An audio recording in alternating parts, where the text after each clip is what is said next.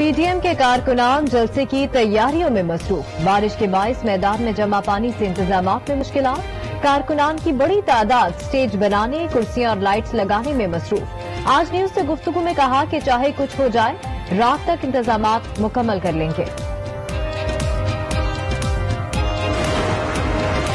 हुकूमती हलकों में जलसे का असर नज़र आना शुरू हो गया। हुकूमत जितने भी मुकदमा दर्ज कर ले, कारकुनान घबराने वाले नहीं।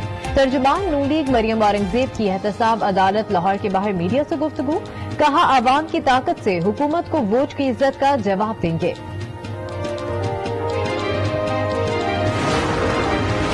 सिंध में रेस्टोरेंट्स के लिए आउटडोर डाइनिंग का वक्त रात 10 बजे तक बढ़ा दिया पार्सल और होम डिलीवरी के लिए रात एक बजे तक होटल और रेस्टोरेंट्स खुले रखे जा सकते हैं। सूबाई हुकूमत ने नोटिफिकेशन जारी कर दिया। बोला जा रहा है, पाकिस्तान का हाथ है, कहीं बोला जा रहा है।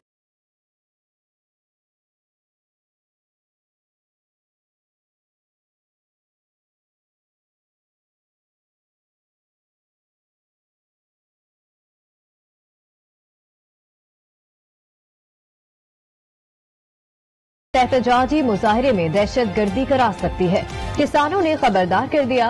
किसान रहनुमाओं ने कहा कि मोदी हुकूमत दहशत गर्दी की मनसूबा बंदी कर रही है। इसके बाद पाकिस्तान या चीन पर इल्ज़ाम लगाएगी। भारतीय किसानों ने रेल का पहिया जाम करने की तैयारी कर ली। मुतालबात के हक में किसानों का एहतजाज सत्रह रोज से जारी है।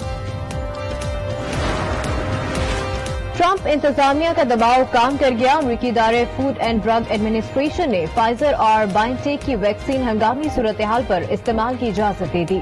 मंजूरी न देने पर एफडीए के सरबराह को मुलाजमत से फारिग करने की धमकी दी गई थी। अमरीकी सदर ट्रंप का वैक्सीन के इस्तेमाल की इजाज़त देने का खैर मकदम।